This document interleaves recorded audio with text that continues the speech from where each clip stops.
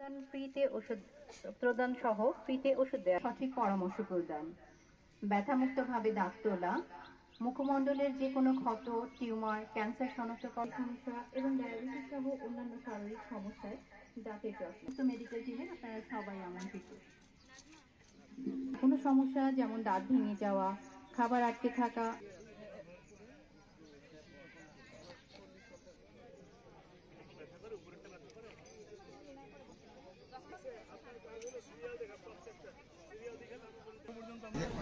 আজকের আজকের বিষয়টি, আজকে যে ক্যাম্পটি হচ্ছে এখানে এখানে দুইটি ক্যাম্প হচ্ছে। পাশাপাশি একটি হলো dental camp free dental camp free dental check up oral check up এবং তাদের এক্সট্রাকশন দাঁত তোলা এবং ফিলিং করা। এই সার্ভিসগুলো আমরা দিচ্ছি আজকে। আর পাশাপাশি আছে মুখের ঘা সম্পর্কিত যারা কোনো ঘায়ের সমস্যায় ভুগছেন বা মুখের জ্বালা পোড়ায় কোনো সমস্যায় ভুগছেন, তাদেরকে দেখা এবং তাদেরকে প্রয়োজনীয় চিকিৎসা প্রদান করা। প্রয়োজনে বায়োপসি করে আমরা এখান থেকে বায়োপসি নিয়ে ঢাকায় যে পরীক্ষা করে তাদের ব্যাপারে আমরা ফলাফল ঘোষণা করব যে কী ধরনের রোগ এখানে বিস্তার করছে। এই আমাদের এটার অবতারণা হয় আমাদের প্রাক্তন সেনাপ্রধান ইকবাল করিম ভুইয়া। উনি আমার সম্মানিত সিনিয়র ব্যক্তিত্ব। উনি আমাকে একবার বলেন যে ওনার গ্রামে এইখানে একটি ডেন্টাল ক্যাম্প করার জন্য।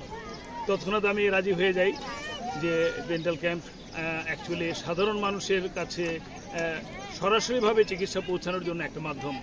তো সেই হিসাবে উনি ব্যাপারটা পুরোটা, পুরো বিষয়টি ব্যবস্থাপনা সম্পন্ন করেন, প্রয়োজনীয় ওষুধপত্র জোগাড় করেন, প্রয়োজনীয় জিনিসপত্র জোগাড় করা হয় এবং সব কিছু করে আজকে আমরা দশই মার্চ আমরা এসছি এখানে। এখানে আঠারো জন ডাক্তার এসছে। আঠারো জন ডাক্তারই কাজ করছে এখানে।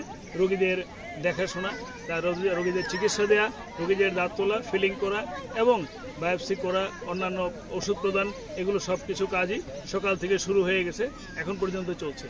অদ্যাবধি প্রায় সাড়ে তিনশোর উপরে রোগী নাম লিস্ট করা হয়েছে এবং তাদের চিকিৎসা প্রদান চলছে এই পর্যন্ত।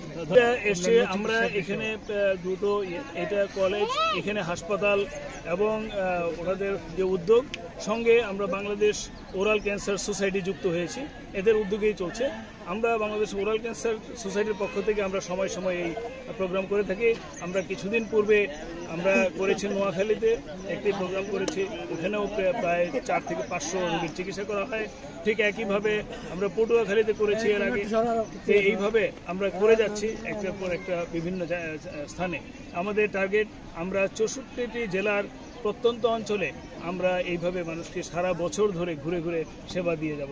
এটাই আমাদের আকাঙ্ক্ষা। যেমন দৈনিক খুব সাধারণভাবেই আমরা কিন্তু দাঁতের